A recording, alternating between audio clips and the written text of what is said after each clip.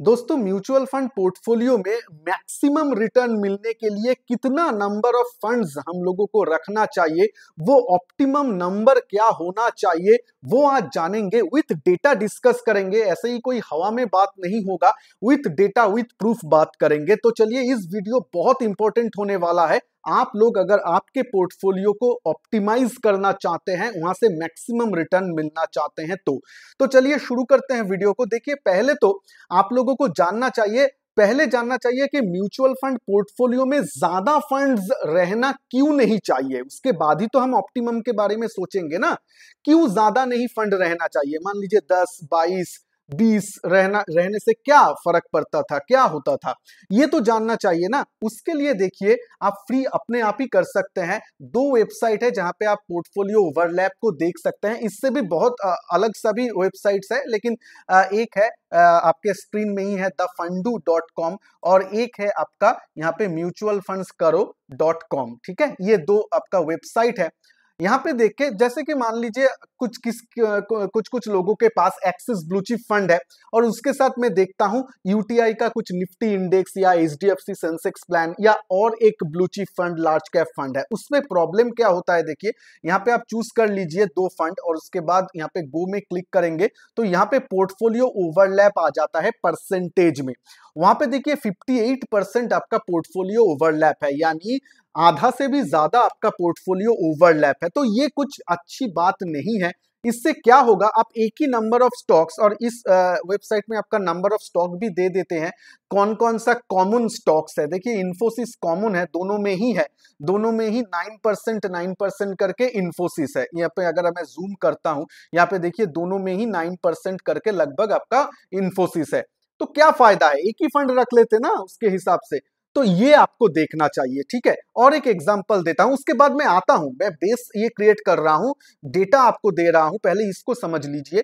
ये एक प्रॉब्लम होता है। दूसरा जो आप लोग बहुत बोलेंगे कि संजय भाई, मेरे पास ना एक्सिस ग्रोथ अपॉर्चुनिटी लू या ना लू, मेरे पास ऑलरेडी पारंपरिक फ्लेक्सी कैप फंड है। हाँ क्यों, दोनों में ही तो अभी फॉरेन इक्विटी तो अभी भी है पारंपरिक तो फॉरेन पारंपरिक फ्लेक्सी कैप तो फॉरेन इक्विटी को तो बेच नहीं दिया है ना, अभी तक तो बेच नहीं दिया है तो उसमें तो कुछ है।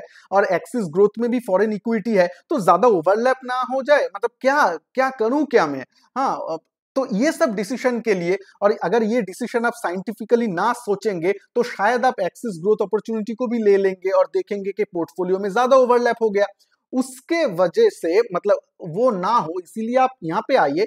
म्यूचुअल फंड ऐसा वेबसाइट वगैरह है जहाँ पे आप लोग ऐसे खुद ही देख सकते हैं। यहाँ पे देखिए, ये दो फंड मैंने यहाँ पे दे दिया और वहाँ पे देखिए, सिर्फ़ और सिर्फ़ आपका 10 परसेंट पोर्टफोलियो का ओवरलैप है, जो एकदम ठीक है। कंपेयर टू वहाँ पे 58 परसेंट था, जो पिछले हमने कैलकुलेट किया था कंपेयर किया, उसके हिसाब से 10 परसेंट इज़ ओके कुछ तो आपका ओवरलैप होगा ही, जैसे कि आईटीसी कुछ इन्फोसिस ये सब वगैरह तो स्टॉक्स रहेगा ही, लेकिन ये वेबसाइट में आपको स्टॉक्स कौन सा कॉमन स्टॉक है, वो नहीं दिखाता है, लेकिन एटलीस्ट पोर्टफोलियो का एवरेज ओवरलैप ये जो वैल्यू है, ये इंपॉर्टेंट हो जाता है, ये तो आपको मिल ही जाता है कि 10 परसेंट ओवरलैप है।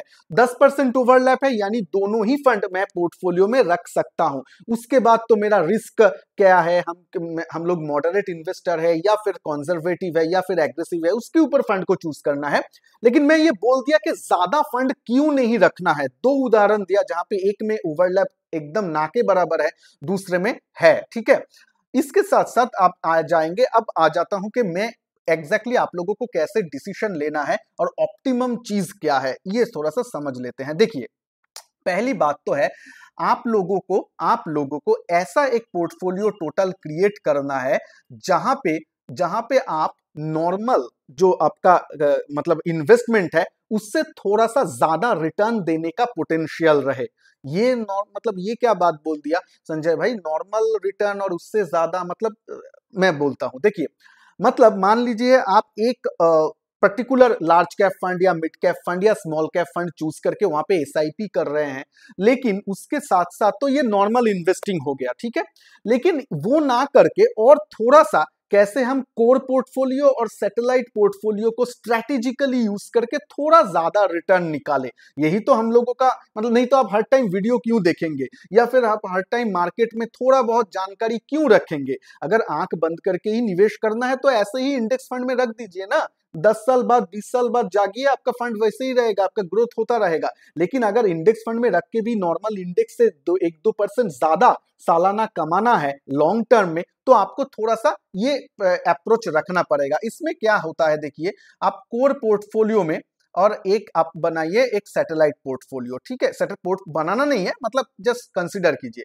तो ऐसा कोर पोर्टफोलियो में आप चार से पाँच फंड्स ज़्यादा रखिए।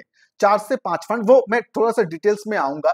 तो आपके पास ज़्यादा फंड्स नहीं होगा, मान लीजिए चार फंड्स होगा, और इसका ही मैं लाइव मैं लाइव आप लोगों के साथ यहाँ पे गाइडेंस के लिए just only for learning purpose मैं यहाँ पे जो मेरा मॉडल पोर्टफोलियो का सीरीज़ चालू है, जहाँ पे एग्रेसिव कंजर्वेटिव और मॉडरेट में है, वहाँ पे भी देखिएगा मैं एक एक पोर्टफोलियो में चार फंड रखा हूँ। ठीक है, चार फंड कोर में रखा हूँ, और रिसेंटली जस्ट पिछले वीक एक मैंने मेरे ऐसे हेल्थ केयर फंड को ऐड किया। ये हो जाता है आपका सैटेलाइट पोर्टफोलियो का अप्रोच बहुत सारे लोग अब सोचेंगे, ये क्या हो रहा है? थोड़ा सा एक्सप्लेन कीजिए संजय भाई, मैं बोल रहा हूँ। देखिए तो चार फंड आप लेके चलिए, चार से पाँच फंड प्लस माइनस एक दो हो सकता है। चार फंड आप लेके चलिए, वो भी कैटेगरी कैसे चूज़ करना है, वो भी मैं बताऊँगा। यहाँ पे पहले चूज़ कर लीजिए आपके रिस्क के हिसाब से, उस हिसाब से आप एसआईपी कीजिए और दो तीन जगह ना खाली रखिए अपने पोर्टफोलियो में।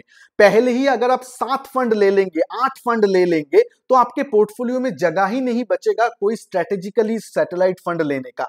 ये क्या होता है? देखिए सैटेलाइट फंड में जैसे कि आपका मान लीजिए डिजिटल मतलब आईटी सेक्टर अगर अच्छा कर रहा है, आपको लग रहा है कि आईटी सेक्टर अच्छा कर रहा है मतलब आपको जानकारी है, आप मान लीजिए बहुत सारे लोग आईटी सेक्टर में काम भी करते होंगे इन्फोसिस टीसीएस में, आप लोग देख पाएँगे कि हाँ आईटी में बिज़नेस अच्छा हो रहा है, या अगर आप नॉर्मल इन्वेस्टर भी है और जानते हैं हाँ आईटी में अच्छा होगा तो आईटी वाला एक स्टॉक आप तब ऐड कीजिए। ये सब ये सब जब आईटी थोड़ा सा डाउन चल रहा हो या लैकलस्टर हो, तब थोड़ा सा ऐड कर सकते हैं। या फिर जब बुल रन चालू हुआ है, तब भी ऐड कर कर सकते हैं। और जब ज़्यादा बुल रन हो जाए, बहुत बुलिश हो जाए लोग, तब थोड़ा सा प्रॉफिट बुक कर लीजिए। वो आपका सैटेलाइट पोर्टफोलियो लेके आप कर सकते हैं, ठीक है? मान लेते हैं, मान लेते हैं आप लोग एक मॉडरेट इन्वेस्टर है, और एक एग्जांपल देता हूँ। मान लीजिए आप एक मॉडरेट इन्वेस्टर है, जो आप और आप स्मॉल कैप को उतना ज़्यादा पसंद नहीं करते हैं, उतना ज़्यादा पसंद नहीं करते हैं स्मॉल एंड मिड कैप को। मान लेते हैं, आप normally large large and mid cap थोड़ा सा लार्ज कैप में ही पसंद करते हैं तो आप दो तीन फंड दो फंड आपको लार्ज कैप में ले लीजिए लार्ज एंड मिड कैप एक लार्ज कैप और एक लार्ज एंड मिड कैप रख दीजिए, बस उतना ही। और थोड़ा सा अपना पोर्टफोलियो में जगह खाली रखिए। जब बाज़ार में मान लीजिए बहुत मतलब आपका अगर 20 साल का म्यूचुअल फंड का जर्नी है 20 साल का अगर म्यूचुअल फंड का जर्नी है, उसमें आपको तीन चार ऐसा बिग इवेंट तो मिलेगा ही, जहाँ पे बाज़ार 20 से लेके 30 परसेंट तक गिरेगा। ऐसा आपको इवेंट्स मिलेगा ही मिलेगा। ये पास्ट में हो चुका है। तो उस हिसाब से जब ये ऐसा गिर जाता है, उसके बाद जो रिकवरी होता है, वहाँ पे small cap mid cap fund अच्छा करता है। तो आप तब एक मिड कैप फंड को एज अ सैटेलाइट पोर्टफोलियो अपने में ऐड कीजिए। आप कोर में मत रखिए, क्योंकि आप जिस इन्वेस्टर के बात में कर रहा हूँ, वो मिड कैप आप पसंद नहीं करते हैं नॉर्मली मान लेते हैं। तो मिड कैप को ज़ोर ज़बरदस्ती कोर पोर्टफोलियो में मत रखिए, उसको सैटेलाइट हिसाब से काम कीजिए। ऐसे भी कर सकते हैं। और आप मान लीजिए नॉर्मल एक इन्वेस्टर है, नॉर्मल इन्वेस्टर है जिसको आप, जो लोग आप मतलब mid cap, small cap large cap सभी को लेके काम करना चाहते हैं। तो वो लोगों का अप्रोच क्या चाहिए? आप चार फंड्स चूज़ कीजिए, ठीक है? एक लार्ज कैप रखिए, एक मिड कैप रखिए, एक लार्ज एंड मिड कैप और ये एक फ्लेक्सी कैप, ऐसा, या फिर एक स्मॉल कैप रखिए। ऐसा करके चार से पाँच फंड मैक्सिमम अपना कोर पोर्टफोलियो में रखिए, उससे ज़्यादा नहीं। ठीक है? और एक दो फंड का जगह आप खाली रखिए, जिसमें कभी कभी जब आपको मतलब मिलेगा, कुछ फॉरेन फंड्स ऐड करना हो। क्योंकि देखिए, ये मैं जितना भी बोलूँ क्योंकि मैं खुद फॉरेन फंड के ऊपर उतना ज़्यादा बुलिश नहीं हूँ आज के डेट पे। जितना भी मैं बोलूँ मैं जानता हूँ आप लोग फॉरेन फंड्स ले लेते हैं। ये लेंगे ही ये मतलब होता ही है। आ, सेक्टर फंड में ले लेते हैं नए इन्वेस्टर जिन लोगों को मालूम भी नहीं है बाज़ार के बारे में वो भी ले लेते हैं कभी कभी हम लोग ऐसा कर लेते हैं क्योंकि हमें जानकारी नहीं होता है और ये मैं भी मेरा पहले जब स्टार्टिंग में किया था कि हम लोग रिटर्न देखते हैं और रिटर्न को देख के पहले ले लेते हैं और उसके बाद लगता है कि हम लोग शायद टॉप में वो सेक्टर में एंट्री कर बैठे हैं। तो ऐसे मतलब करेंगे तो उसको एज अ सैटेलाइट वाला चीज़ में रख के करिए। सैटेलाइट मतलब वहाँ पे कम निवेश करना है आपको, एकदम कम निवेश करना है स्ट्रेटेजिकली प्ले करना है, उसके लिए एक दो फंड का जगह बचा के रखिए, बस उतना ही। ये ऑप्शनल है। ये जो मैं बोल रहा हूँ, अभी अभी बहुत सारा लोग मुझे क्वेश्चन करने लगेंगे तो ये सैटेलाइट के लिए क्या क्या चूज़ करना है? नहीं, ये करना नहीं है, ये ऑप्शनल है, ये ऑप्शनल है। मतलब मुझे अगर पूछेंगे, मैं देखिए, मेरा मॉडल पोर्टफोलियो में एक जगह खाली रखा था, वो हेल्थ केयर सेक्टर वाला फंड अभी ऐड किया हूँ।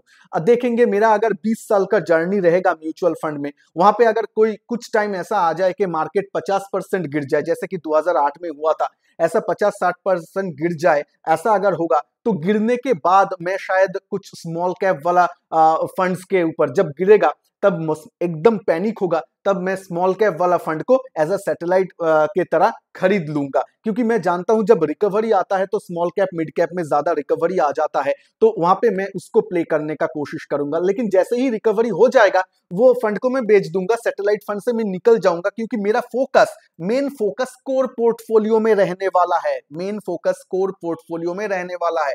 इसको आपको मतलब एकदम केयर टेक केयर करना है और इसमें थोड़ा सा अमाउंट पोर्टफोलियो का टोटल पोर्टफोलियो का 10 परसेंट, बीस परसेंट यहाँ पे आप कर सकते हैं। तो टोटल मिला के देखिए नंबर ऑफ़ फंड्स आपका क्लियर हो जाएगा। चार से पाँच फंड आपको कोर्ट पोर्टफोलियो में रखना है, उससे ज़्यादा रखना नहीं है। जितना कम, उतना अच्छा। ठीक है? क्लियर हुआ?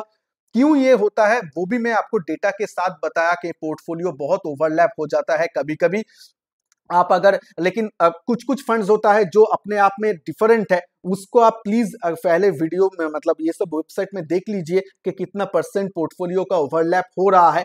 दस परसेंट बीस परसेंट ठीक है। अगर 50 परसेंट हो रहा है 60 परसेंट हो रहा है, जैसे कि इस केस में 58 परसेंट हो रहा है, देखिए यहाँ पे आपका 58 परसेंट हो रहा है तो वो सब में मत रहिए। वहाँ पे 58 परसेंट ओवरलैप इसमें मत रहिए। तो आप यही करके उसके बाद फंड को थोड़ा सा चूज़ कीजिए कोर पोर्टफोलियो में जाइए, ठीक है? दो फंड दो म्यूचुअल दो जो वेबसाइट है उसका भी नाम बता दिया। वीडियो को अच्छा लग रहा है तो प्लीज़ लाइक करते जाइएगा। और चैनल में नए हैं तो चैनल को सब्सक्राइब भी करके देंगे आ, कर दीजिएगा। और आपका जो मेरा मॉडल पोर्टफोलियो का जो ये सीरीज़ चालू है इसका भी वीडियो इसका भी वीडियो मैं वीकली एनालिसिस भी करता हूँ। इस ये मॉडल पोर्टफोलियो का वीडियो आपके स्क्रीन में आ जाएगा क्लिक करके ज़रूर देख पाएँगे। और उसके साथ साथ मेरा बेस्ट फ्लेक्सी कैप फंड और लार्ज एंड मिड कैप सभी के ऊपर वीडियोज़ है प्लीज़ क्लिक करके देखिएगा। चलिए खुश रहिएगा मिलते हैं न्यू वीडियो में उस तब तक के लिए जय हिंद वंदे मातरम।